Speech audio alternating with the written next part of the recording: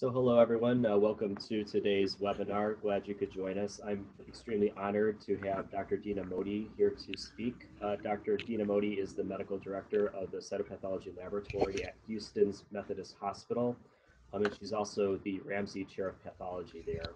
She is a past president of the American Society of Cytopathology um, and has been a member of the executive board of the ASC.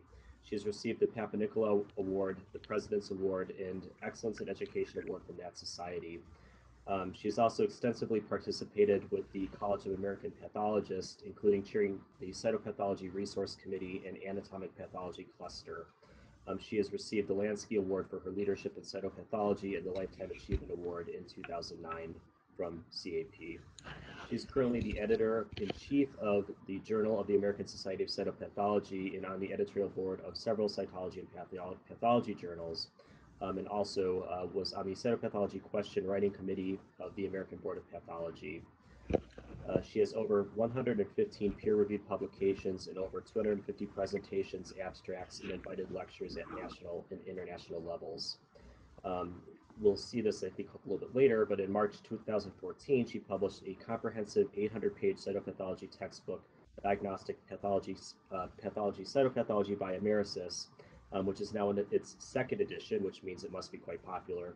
Um, and she also co-edited the third edition of Clinical Cytopathology um, with her mentor, Dr. Ramzy, um, published in 2017. Um, and with no further ado, I will turn it over to Dr. Mody. Thank you.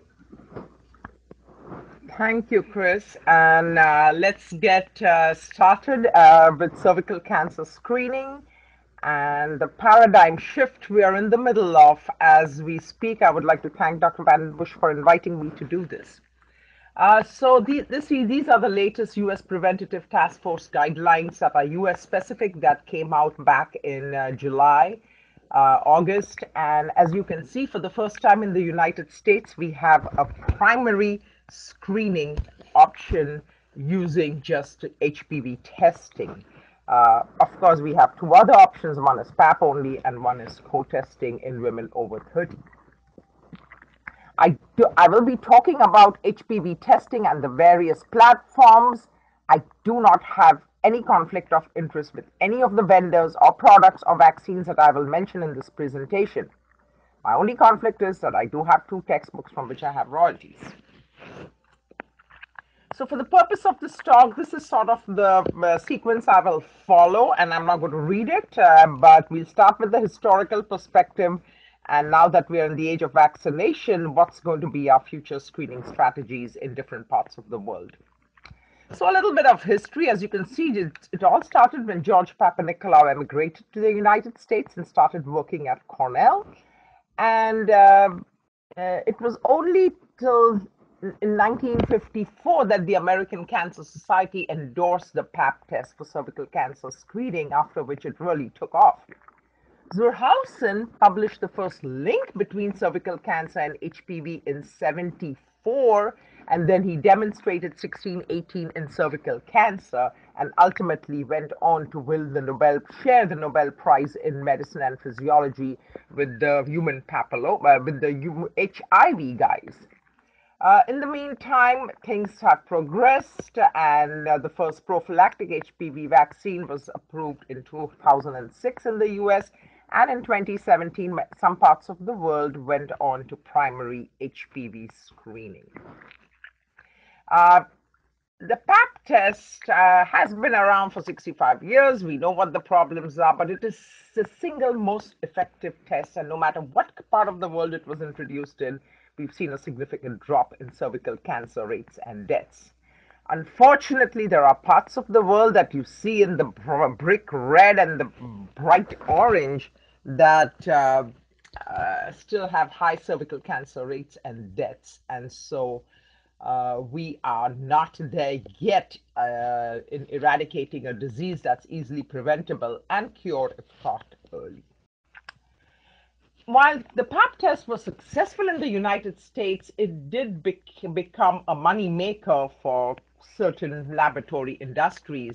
And there were and there were some bad practices that were used, and this was exposed by Walt Bogdanich on November 2, 1987, on the front page of the Wall Street Journal.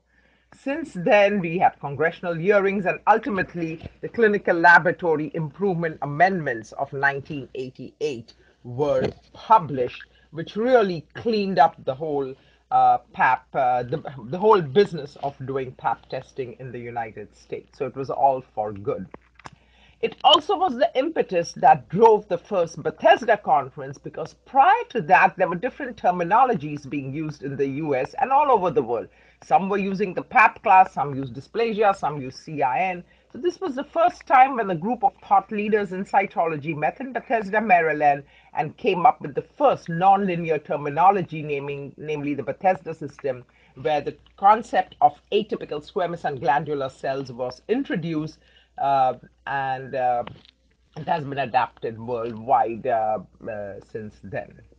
It was uh, the CLIA 88 was also the impetus for new technology. We all knew the problems with the conventional PAP test.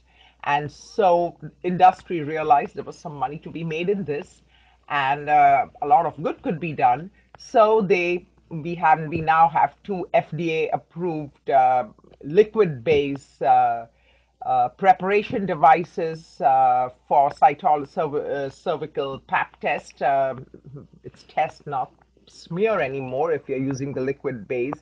And they also have their own automated screening devices. And about 98% uh, of the labs use one or the other of the uh, in the United States use one or the other of the technology, and all of the larger labs use uh, the Im- imager screening followed by manual screening. I run a large commercial lab which covers all of Texas. I do over 200,000 PAPs a year and over 200,000 HPV tests a year. So I have it all in my own laboratory, including multiple HPV testing platforms, which we will get into. Uh, so let's start, get to the subject, HPV facts. There are over 200 genotypes, but it is the 40 anogenital types that are in the business of making trouble in this area. Most genital HPV types occupy a single genus with 50 within the 15 species, and this is based on the LVUD capsid gene, which I'll tell you a little bit about. The genotypes from the same species share about 60% or more of the nucleotide sequences, hence they have similar biological and pathological properties. So in other words, they're kind of closely related and can have some cross-reactivity when it comes to testing and vaccination. We started out with the 13 high-risk HPV types, which belong to either alpha-7 or alpha-9, and the order of frequency worldwide, but it can vary. Though 16 is the most common worldwide, 18 is not necessarily the case. There are parts of the world where it's not 18 as the second most common. And then type 66 and 68 were added later to that high and intermediate risk group and that may have created some issues because type 66 you see in a lot of high grades, but somehow it's not showing up in the cancers. And so here is the dendrogram of family tree, if you wish, of the uh, papilloma virus. And you can see they kind of occupy this one area. In other words, they're kind of closely related, first cousins, if you will, whatever. Uh, and this becomes important later as I talk about the subject. Uh, here is a nice uh, diagrammatic representation of the, the um, uh, of HPV, which is a non-enveloped double-stranded DNA virus. Uh, it has the late regions, which are uh, which are the major and minor capsid protein, uh, indicated by L1 and L2, and these are the ones that are used in the business of HPV testing. The primers are made to these regions, L1 especially, and in vaccination. But the process of carcinogenesis, in other words, the troublemakers are actually the early regions, especially E6, E7, and I'll tell you a little bit about it in a few minutes. So how does HPV go about its business? So here is again a schematic representation from Nature Reviews. You have the reference uh, the infection actually takes place in the basal layer of, of the cells, and the, uh, the infection actually proliferates in the nucleus. The cell maturation process is really important for the virus to thrive. So, as the cell matures, the viral particles replicate, and ultimately, when the cell reaches the surface, uh, the cell ruptures and infects other cells or the partners. And this is what happens in most cases. Over 90% of the time, that's the kind of infection you see. It's transient, it goes away. However, in a small percentage of cases, for whatever the reason is, the genome gets incorporated into the host DNA, and now the cell cycle is altered with the results that cells are multiplying because there are no breaks left. And I'll tell you how that happens and ultimately you have immature cells on the surface and that is what we see as a high-grade squamous intraepithelial lesion on cytology. So the mature cell type, which is the transient infection, is the low-grade squamous intraepithelial lesion, and we no longer worry about it other than the fact that a persistent low grade is a marker of maybe a high grade higher up in the canal. The high grade is where the, the virus is integrated and you have uncontrolled cell division. And so the cells have no time to mature. And now you have the less mature or the immature cell types on the surface, which is what gets scraped on the pap test. And that's why you see the little cells with the high NC ratio, or what we refer to as high grade squamous intraepithelial lesions. Interestingly, the higher the grade of the lesion, the viral copy number actually drops because remember I told you that cell maturation is really important. So unlike HIV, where you can use the viral copy load to monitor the disease process, it's exactly the opposite in human papilloma virus. So that's why we don't use viral copy numbers because the highest numbers are in the low grades, uh, which is what we don't worry about those anymore. So here is the process. It's uh, the cell cycle, which normally goes on, but under the influence of E2F now, it eggs the cell to start multiplying. And normally there is uh, E uh, retinoblastoma gene, which tells the stop cell to stop dividing when it's, it's not its turn. And if in the event that the cell goes ahead and divides, you have P53, which uh, induces apoptosis and tells the cell, hey, you know, you divided out of turn, so you will die. Unfortunately, under the influence of E6 and E7, those breaks are gone. And now you have an uncontrolled cell division, which is why we see the immature cells all the way to the surface. And there are other feedback mechanisms involved, which res results in an increase in P16 expression. Now, P16 can be seen in other cancers, but for HPV related disease, especially in the mucocutaneous areas, it, it is used as a surrogate marker for HPV related disease. Now, just because there is an HPV infection doesn't mean that the patient is going to have cervical cancer. In fact, the majority of HPV, over 90%, are cleared over a 24 month period and even more over a 48 month period, including 16, 18, and 45, which are really the bad actors uh, uh, in this business, and the other types. So they all ultimately clear in a majority of the patients. Uh, this is a figure that kind of shows you, you know, the cumulative incidence of cervical cancer. This was an article about Creedy and all. Uh, and it was a very unfortunate experiment that occurred in New Zealand where these women were followed for 30 years without any treatment. Uh, they, they, had high grade, uh, a, a, cohort of women got the treatment, another one did not. And as you can see, there was about a third of them that went on to develop cervical cancer. Uh, in other words, a CIN3, it's a slow, for most part, is a slow moving process. And over a 30 year period, anywhere between 30 and 40% of the women went on to develop cervical, invasive cervical cancer. So just having high grade doesn't mean you're automatically going to get cancer. So when you look at this uh, diagram, uh, which although it's from 2006, it still holds true. When you're doing the HPV test, you're basically picking up, especially a DNA-based test, you're picking up every transient infection and the significant infections that will not clear. So you, you're going to pick up every infection. Uh, if you have an E6, E7 based messenger RNA HPV test, and there is there are a few on the market, including one in the US that's FDA approved, uh, if you're getting a little bit more specific, but still not enough. Uh, a second level of test, uh, like the heat shock proteins, whatever that are increased in cancer, is really what we know, and the most promising of those are the methylation markers, but they're not yet ready for ready for prime time to use uh, in a worldwide screening program. So th- there's more happening uh, on it. So you really want to catch the HPV infections that are going to progress and treat those rather than every transient infection. Uh, again, uh, important to remind you that as the degree of dysplasia progresses, the E6, E7 expression goes up, up but the virus product production actually goes down. And since the HPV based tests are clinical cutoffs that are used, uh, there is a potential that you could have a high grade of cancer that is has a low viral copy number that's below the clinical cutoff, and you will have a false negative. And guess what? It happens. Okay, so in a nutshell, a woman who's sexually active, her lifetime risk of HPV infection is around 80%. Majority get cleared.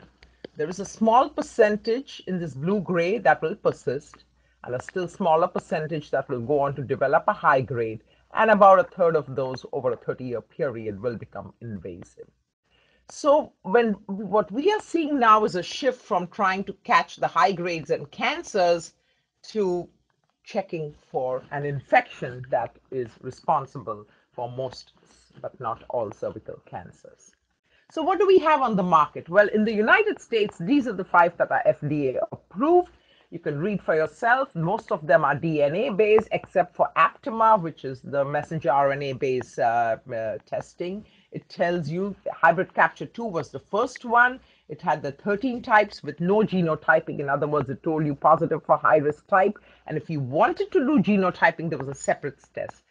In the United States, with the availability of especially the Cobas and the Aptima, uh, hybrid capture 2 uh, usage has dropped dramatically. There's only a handful of labs in the country that still use it. All the big commercial labs, including mine, do Cobas or Aptima.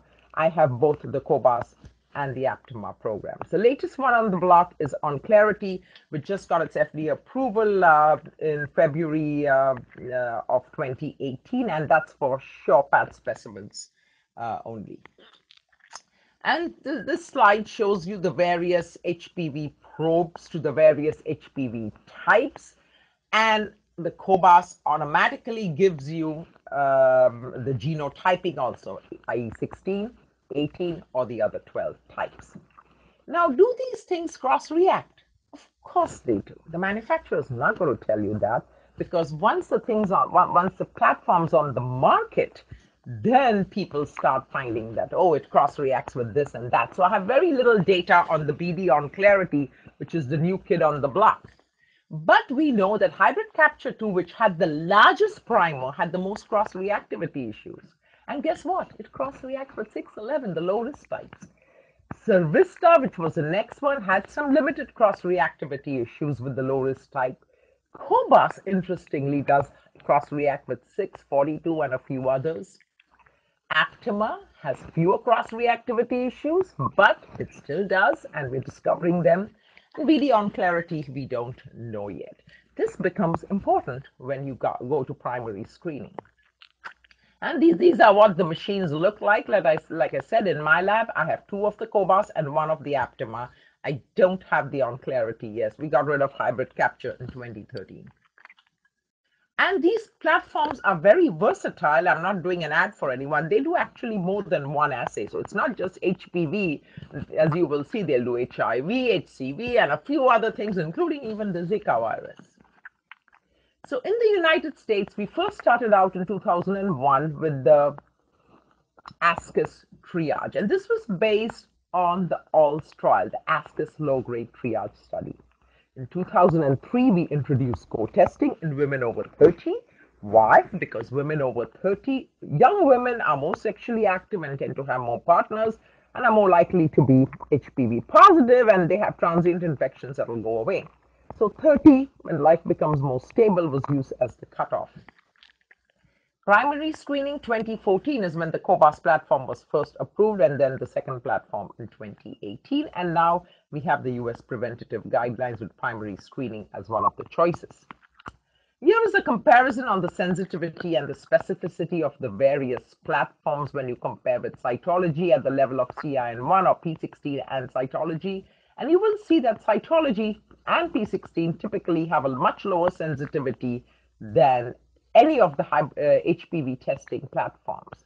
Unfortunately, it's the specificity. So a positive HPV test, because of the transient infections, doesn't automatically mean high-grade disease. And you can see that on the table that the specificities are relatively low. Uh, reporting rates. Now, when you look at the different trials for these various platforms, you'll see that the reporting rates are very different. And that is because it depends upon where the trial was done. And in some trials, like the ALTS, they used an enriched population to get to the results faster. So things might look a little uh, different. So the ALTS trial, which was the ASCUS low grade, which was hybrid capture, Athena was the COBAS one, and so on and so forth. In the United States, the College of American Pathologists does a survey and publishes the reporting rate. Uh, and uh, a table giving you the fifth through the 95th percentile. And this becomes important for QA activity because you're supposed to benchmark your numbers with those of the nationally published numbers and stay within the bell-shaped curve. I'll get into that a little bit later. Now, remember I told you about the false negatives and why they occur because the viral copy load drops as the disease progresses. And sure enough, here are different international studies, and it runs around 9.910%. So that 8 to 10% number of false negative rates in high grades and cancer will show up in different studies in different parts of the world. You really have to read the literature to find it.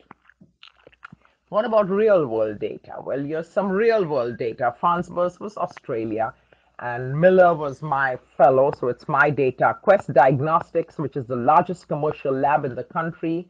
As you can see, 19% of the high grades in cancers were HPV negative, 15% of the cytologies were negative. In other words, both tests miss a certain percentage, but they miss a different percentage. It's not the same ones.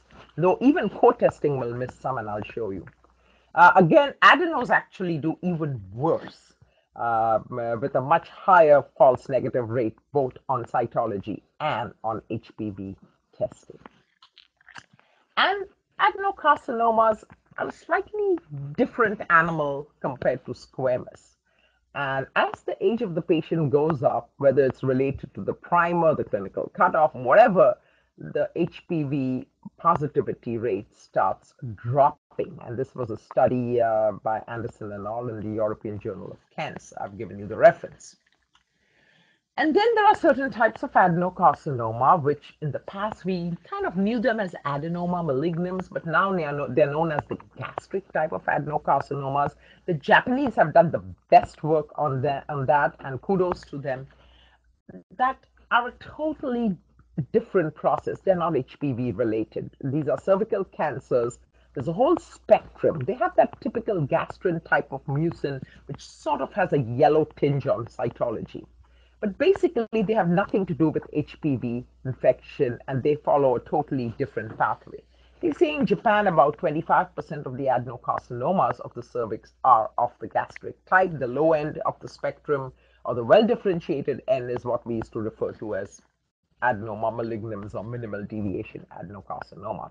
In the United States, they say about 5% of the cervical cancer, endocervical adenos are of this type.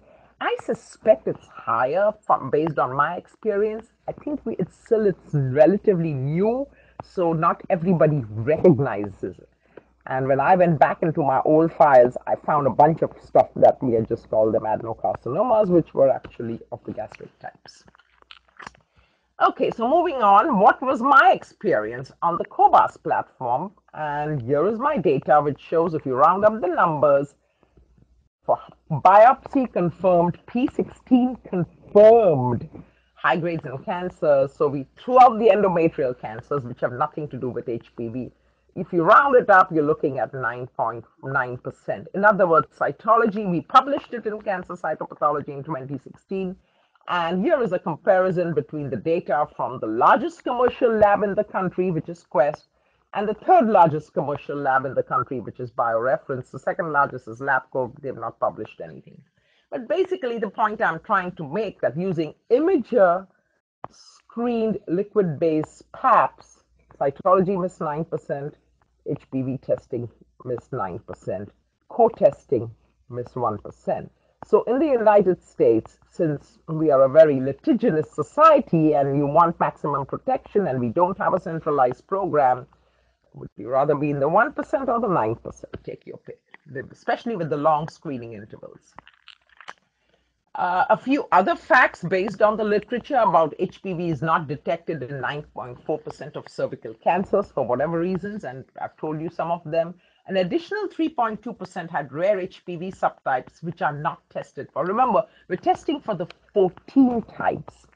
And of course, 90% of endocervical adenocarcinomas are HPV positive. We know 10% have a totally different pathway. What about the RNA based testing platforms versus the DNA based testing platform? And I have the Cobas and the Aptima in my lab. And you will see that, yes, you know, they, they're, they're over 90% for the high grades and higher, but they do the cobas which is a dna based test tends to pick up a lot more positivity and on which on follow-up showed benign or low grade. The aptima picks up a little bit less of the noise but nevertheless still does. So the follow-up biopsies on pap negative hpv positives as you can see there's a lot of noise that was picked up and you can see the cobas versus aptima the specificity is higher for the RNA-based testing, though the sensitivity can be lower. Something to keep in mind. So in, a, in the United States, we've had primary screening since 2014. I can tell you uh, with over 200,000 PAPs done in my lab this year, I had less than 100 requests for primary HPV screening.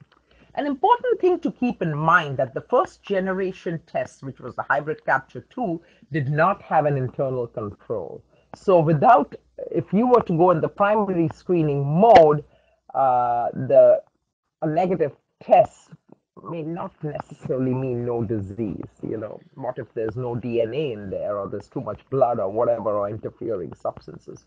Cobas and others do have an internal beta globin gene, but it's not epithelial cell specific. In other words, if somebody is having a lot of bleeding, the DNA from the white blood cells will give you a positive internal control, but it doesn't mean that there are epithelial cells in there, so you could potentially get a negative test. And a few other uh, issues, so we uh, that have been published uh, by Dr. Nayar, Gulat, Wassam, and Davey, etc., who, who are part of the cytology education and Technology Consortium. These are representatives from the various cytology organizations that meet once or twice a year. Anyway, so what are the causes of false negative results? Of course, if there's no specimen in the wild, but if it's a different a pool, then what's the 14 type you'll give? You'll get a false negative, and then the low viral copy number I told you, and then the presence of inhibitors and limitation of an, uh, analytic sensitivity. There's all these lubricants that people use uh, yes, the manufacturers have tested the most common ones, but every day there's a new one on the market. So who knows what it's doing? There's all kinds of spermicidal gels, etc. So not everyone has been tested uh, on the HPV, various HPV platforms. What about false positives? Well, that's something I discovered the hard way when I started doing them and I got a few phone calls saying there's no way this person can be positive or she's a virgin. Don't ask me why they ordered an HPV test on her, but nevertheless, I discovered that actually there are carryover issues, something which I was not aware of. And what do I and a few other things, but what do I what do you mean by carryover issues? So if you did everything right uh, no cross contamination, whatever. In other words, you you followed exactly the manufacturer's guidelines and did everything right. If you have a very high positive right next to a negative, you potentially could have a false positive in that negative one. And on the Cobas platform, just by being in that environment, uh, for Aptima, it's 0.35%, and for Cobas, it is 0.71% carryover issues. So as you can see, it's there in the product insert, but it's on bullet O page 40 something, or here's the Cobas uh, one, which is on page 14, bullet number 21. And who reads that, right? Except when you start getting a bunch of calls and the 200,000 PAPs. Uh, I did get my share of phone calls that I had to investigate uh, and figure out, you know, why these women were testing positive. And now it turns out, and then of course we already know about the cross reactivity with uh, the low risk types, and actually the Europeans are also onto this. So here is a paper by Preisler, Lynge, Bonde, etc., that in their conclusion that says, despite manufacturer claims, all three assays show cross reactivity in primary cervical screening at age 30 or over. Cross reactivity accounted for one quarter of the false positive test results regardless of the assay. So cross-reactivity should be addressed in EU tenders as this primarily technical shortcoming imposes additional costs on the screening program. So yes, if you are a government-sponsored program, if, you, if a third of your tests are going to become be false positives, you are due to due to uh, whatever reasons, then it's a huge problem. But in certain parts of the world, uh, that could mean even worse consequences for the women. Anyway, so what is the role of HPV testing and how it has evolved? So we started off with tri triage for ascus and then low-SIL in uh, postmenopausal women and secondary triage in certain situations. Then we moved on to co-testing where women over 30 years were co-tested and tested for and primary screening. But all this information has also resulted in risk stratification and management guidelines. And of course, we use it for quality improvement purposes in the lab. So let's look at all the different ways we use. Now, there is no doubt about the fact that a negative HPV test at time zero is a better predictor of no high grade or cancer five years out. And there's plenty of trials, so it is far superior to the PAP test. But keep in mind that at time zero, each one could miss a high grade or a cancer.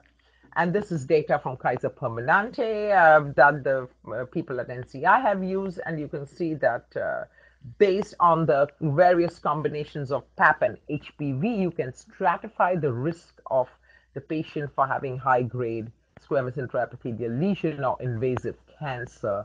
And here is a very nice table from the New England Journal article by Schiffman and Solomon. And as you can see, that, that number 12 is kind of important because anything over 12 is automatically high risk and, and they go to immediate colposcopy. Between 3 and 12, they go to earlier screening intervals, and then the ones below that will get testing in three years or five years, and in some countries, seven years, and they're even thinking of 10 years. This is a more readable table, but uh, just to let you know that certain categories like high HSIL, atypical glandular cells, atypical squamous cells cannot rule out high grade uh, cancer on cytology are automatic high grade categories and so they will go to colposcopy and biopsy right away here in the United States, irrespective of the HPV status. Okay, so how did we start with the triage? And the basis for that is the ALTS trial, the ASCUS low-grade triage study. The low-grade arm of the study had to be dropped, so uh, because 80 plus percent of the low grades were HPV positive, so you couldn't use it for triage. But they discovered that using HPV triage was the most efficient way because they picked up the same number, almost the same number of high grades with ASCUS triage than they did with triaging everyone to colposcopy who had ASCUS. And that was the basis for that. And an important thing is the viral load is not a predictive of the severity of diseases. So even back in the late 90s, uh, and 2000, when this trial was done, they realized that uh, the viral load doesn't work for HPV, unlike HIV, where they follow the viral loads.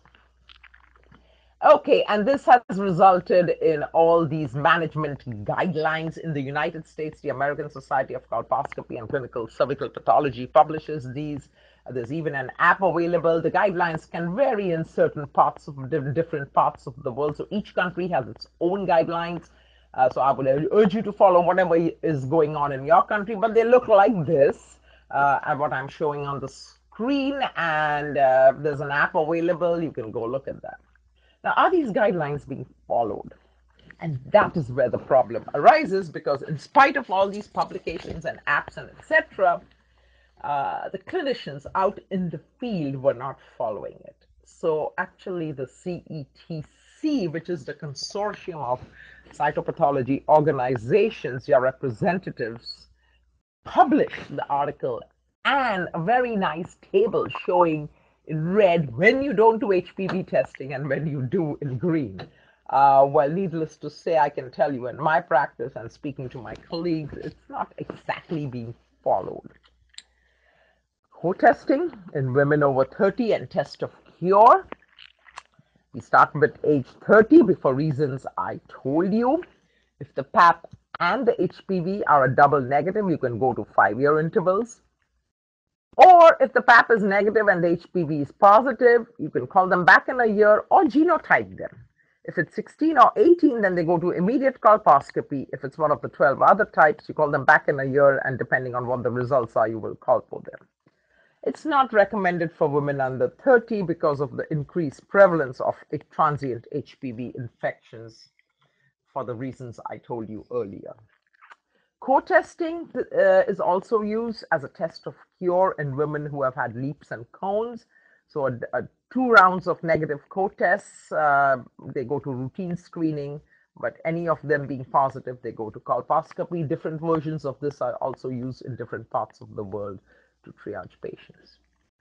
For atypical glandular cells, HPV testing is not the primary management algorithm. You can use it in a secondary mode and a positive HPV with an atypical glandular cell usually points to a cervical pre-neoplastic or neoplastic condition rather than endometrial, especially in peri and postmenopausal women. However, a negative HPV test doesn't rule out endometrial pathology or those 10% that turn out to be negative. So, now moving on to the elephant in the room primary HPV screening. So this is the algorithm that the COBAS platform was FDA approved in the United States. If the HPV primary screen is done, if it's 16 or 18 positive, they go to immediate colposcopy. It's one of the other 12 types, you reflex to cytology. If the cytology is negative, you call them back in 12 months. If the uh, cytology is positive at the level of ASCUS or above, then they'll go to colpo. If it's negative, they go to routine screening intervals, which is five years. This was on the basis of the Athena trial. There were some issues with the Athena trial, but the main concern was it's because of majority of the HPV infections are transient, you're going to colposcope and biopsy a lot of women. And also with the longer screening intervals and an opportunistic screening program in the United States, uh, we were afraid, we are afraid that many women will fall through the cracks. Now, in other parts of the world, Australia, Europe, they actually have organized screening program where the computer sends out reminders and invitations to come get the pap test. We don't have anything like that in the United States. And of course, the concern is, yeah, there are some other things women are not going to remember. If they had their screening test five years ago or seven years ago. Uh, and uh, there is the second peak of cervical cancer, and we had not taken into uh, consideration the hysterectomy rates here. So th th there's some issues we're trying to figure out. But the current guidelines are we have three choices cytology every three years, HPV testing every five years, or co testing every five years beginning at age 30. And no screening of hysterectomy and no screening over 65 or under 21 for a normal average risk person. Now, when you implement H an HPV screening platform, for those of you who are in laboratory medicine, you have to do all these accuracy and reproducibility and other studies. And here is what was done in Norway. They, they decided the HPV testing was going to be centralized to the four labs when they go when they went on to primary screening. So they were doing their reproducibility studies and they realized the reproducibilities were great. but I did notice one thing. Notice all four labs, there were five HSILs out of a total of 33 in that reproducibility study that were that tested negative in all four for whatever reason uh, in all four labs. I don't know the reason for that. I couldn't tell from the paper whether it was low viral copy load or a different HPV type. That's a 10.5% false negative rate. So here you have it out in the world literature, but you really have to look for it before you will find it. All I'm saying is there's no perfect test. Each test misses a certain percentage. Just be aware of it. So are we ready in the United States? Well, we don't know. But one of the concerns in many parts of the world with primary screening is the colposcopy rates. And that's something that needs to be taken into consideration because no amount of number crunching is going to tell you what the ultimate outcome will be. So I decided to look at uh, my colposcopy and biopsy rates once we started offering them uh, the automatic genotyping, which we started doing in beginning March 2013. And sure enough, what we noticed was that for PAPs that were negative but HPV positive, we did see an uptick in the colposcopy and biopsy rates over and above the uptick in our volumes. Uh, and that difference was statistically significant. But when we looked at the outcomes of those positive HPV negative PAPs, yes, we did pick up more high grades, but that difference was not statistically significant. The point I'm trying to make is we did a lot of a lot of unnecessary colposcopies were done in women who ultimately turned out to have no disease or a low-grade squamous intraepithelial lesion, which is a transient ephemeral infection, which is going to clear on its own. And this is important, and we're beginning to see that in parts of the world that there that have gone to primary HPV screening, uh, the colposcopy rates have gone up, and actually, I'm told there are six month waits in some parts of the world, or even nine month waits uh, to get a colposcopy. So these are things that need to be taken into consideration because just because you're HPV positive doesn't mean you have disease. And as you can see, our uh, difference was not statistically significant. Now, this is uh, some slides Dr. Austin from UPMC gave me comparing the Kaiser Permanente data with his. And the green area shows the benefit of added benefit of PAP compared to HPV, and etc. And you will see that in the NCI data, there's very little to be gained by adding PAP, and hence the recommendation for primary HPV screening. Now, this is the Kaiser data. Part of their PAPs were conventional not, and part were liquid based. It was mostly hybrid capture data back then. When he compared it to his Magee Women's data, and my data is much more like Magee Women's, we're getting ready to put together a paper on it. Uh, you can see there's a lot more green, which indicates there's a lot to be gained by adding PAP. So a good PAP actually is quite informative. And uh, Dr. Austin compared his data to that from the Kaiser NCI data and said there's a lot more to be gained. And we actually, during the open comment period, uh, we commented on those and, and they did listen to us. And, and so we do have a co-testing option currently in the United States till we figure out everything. But it is important to realize that H, a negative HPV test, which is a DNA based one, which is very sensitive, at time zero is a better predictor of no disease five years out. So, for, for screening purposes, it is a much more sensitive test and gives greater protection compared to cytology. Be aware at time zero, each one misses an almost identical percentage. So what's going to happen when we transition from cytology to HPV testing? A lot has been written about it, and I would encourage you to go and read these articles. The Australians and the Brits really have been at the forefront, and even some European countries. Uh, we're not there yet in the United States. But just to compare and contrast cytology with HPV testing, you will see that uh, one of the things is each one has issues with false negatives and false positives. We know more about cytology. We've been at it for 65 years. HPV is the new kid on the block. But one of the one of the outcomes we are seeing with primary HPV screening is the increased colposcopy rate and the run on the colposcopy services. So I'm not telling you which one is better or worse. I'm just telling you these are the facts. There is no perfect test. And if you think there is a perfect test, uh, I don't know what you've been smoking. So moving on, quality improvement uses for HPV testing, and I use this extensively in my lab, and it is required by the College of American uh, Pathologists uh, Laboratory Accreditation Program. So I use it for both um, monitoring the rates and benchmarking my numbers to the national numbers and for cytology histology correlation purposes. So these are the national numbers that are published for the United States. Be aware that uh, positivity rates vary in different parts of the world. There's plenty, so you can actually use a combination of the ASCUS to SIL ratio and the HPV positivity rates on ASCUS to kind of monitor individuals and the lab. And depending on what combination you have, you can predict who's overcalling or undercalling and who's dangerous. So I will let you read that on your own. Uh, besides HPV testing, there's a lot of other molecular testing that goes on from the residual liquid in the liquid based vial. So people can argue whether liquid based is better than conventional PAP, that genie is out of the box because you can do so much more with the liquid-based uh, residual in the vial.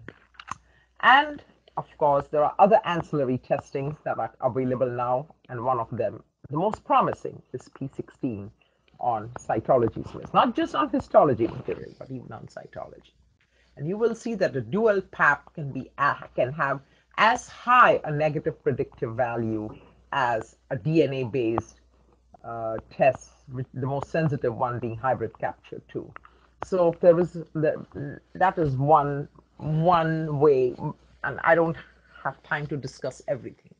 So moving on to prevalence, as you can see, the prevalence varies in different parts of the world, and even on the same continent, it varies between um, the east coast or the west coast or the north part or the south part of that continent. And so it's really important to be aware. So if you're in a high prevalence region, and everybody starts testing HPV positive, what are you going to do? You can't colposcope everyone. Moving on to vaccines, we've had some vaccine options for the last uh, decade or so, and they are made from the viral-like particles to the L1 region. These are non-infectious, they're very safe, irrespective of what uh, the anti-vaccine people may say. Uh, and uh, we started off with Cervarix and Gardasil 4, but now it's Gardasil 9. Uh, they've stopped manufacturing Gardasil 4. it's to the nine types that are including including the two uh, low risk 1, 6, and 11. And uh, they're very effective, especially when given at a younger age. But we don't know what's going to happen 40 years from now. Uh, there is some cross protection to the closely related group. We prefer vaccinating them early, but now there's actually an approval uh, for older women also. So um, the age group keeps on widening, but for heaven's sake, please vaccinate your girls and boys at an early age before they become sexually active. Uh, unfortunately, in the United States, although we would like, we, we were hoping we could be at that upper line with the slat, slats, we're unfortunately not doing that well. And if you look at this table, which is the monthly morbidity and mortality weekly report from August of 2017, you will notice, notice that the very bottom line, the boys are doing even worse, and the boys need to be vaccinated too. There's a very good review article on vaccines uh, by Diane Harper and Leslie DeMars. You can read that. I've given you the reference, uh, so I would encourage you to read it. It's beyond the scope of this presentation. But cervical cancer screening is at crossroads. And there's a nice review article um, that I would encourage you to read. But basically, in a nutshell, what's going on is we have these non vaccinated women who are not going to exit the screening age till almost 2050. And now you have the vaccinated women who are just beginning to enter the screening age. What do we do? Do we just screen them the same way now that we hope 16, 18, and a few others have been eradicated? What's the answer? Well, we have to continue screening the ones that are not vaccinated.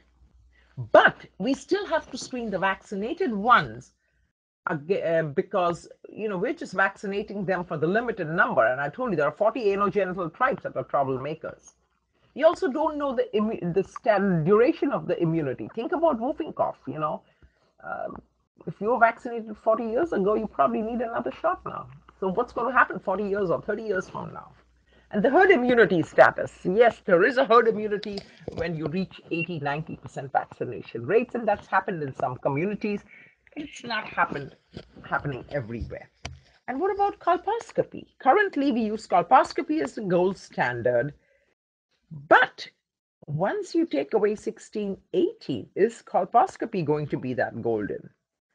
The reason I say that is 16 and 18 types give you the largest lesion. You take away the big ones. Now you're left with little bitty lesions high up in the canal that you're not going to see on colposcopy. So it's not going to be as useful and maybe you should be doing ECCs.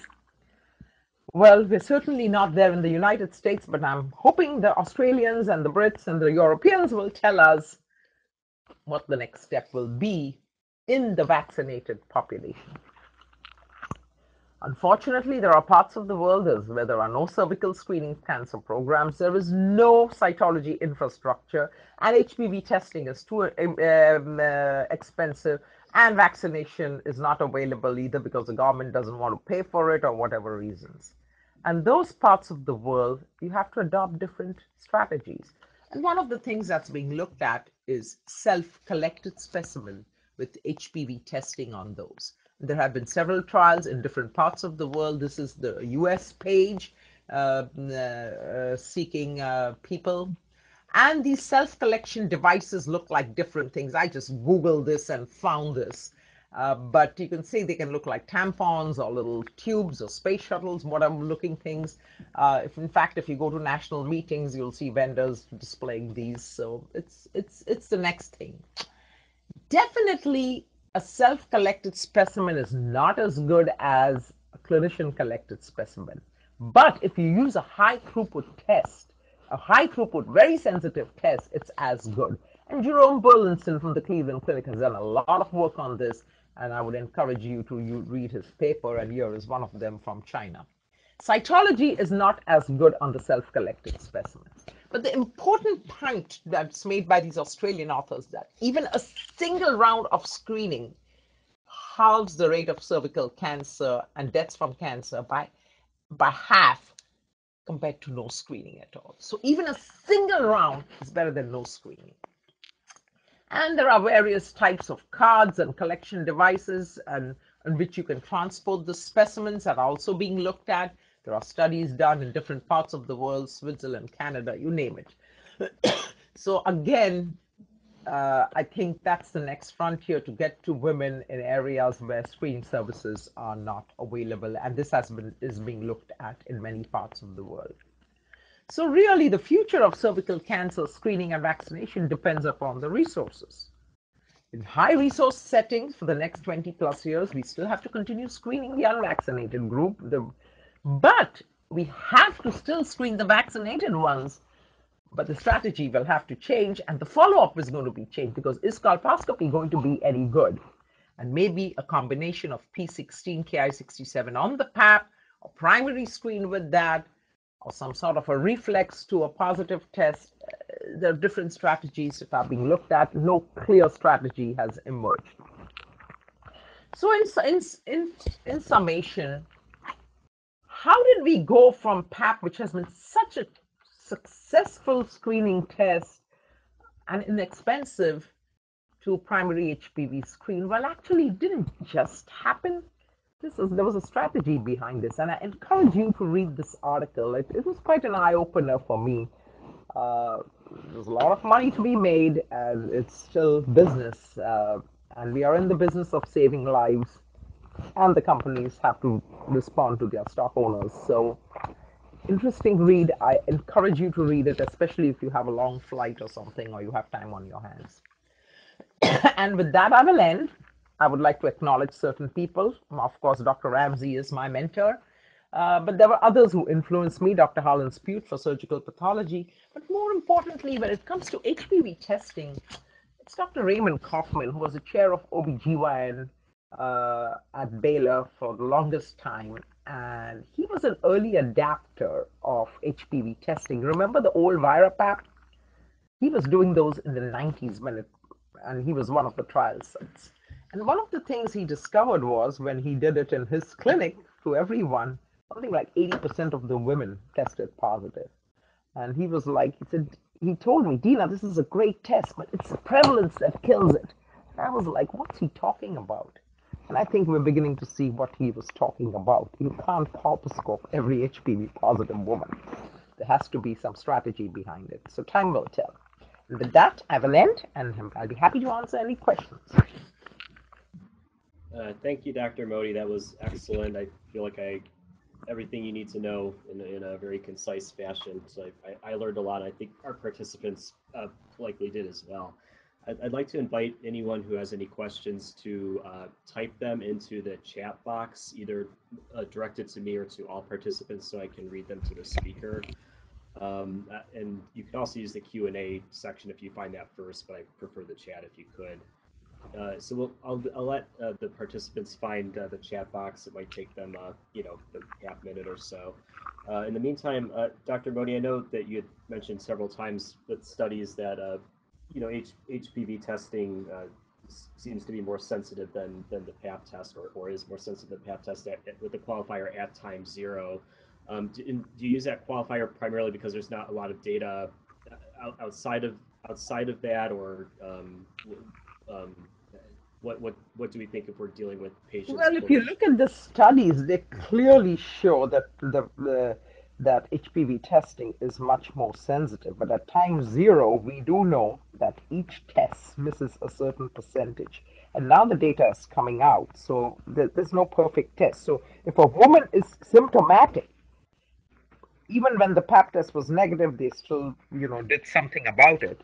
I think the same rules should apply to HPV testing. We're now discovering that there's a certain percentage, around 9 to 8 to 10 percent, on most uh, DNA testing platforms that are going to have false negatives for whatever reason at time zero. So if your patient is symptomatic or something is not right or she's a high risk patient, uh, don't just go by a negative test. There is no perfect test. So just like we knew with the PAP there were false negatives, at time zero, you could have a negative HPV test in 8 to 10% of patients who potentially have serious disease. So you got to look at everything. Even co-testing misses 1%. So there's no perfect test.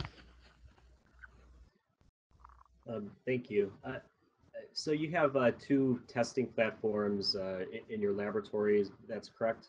Yes.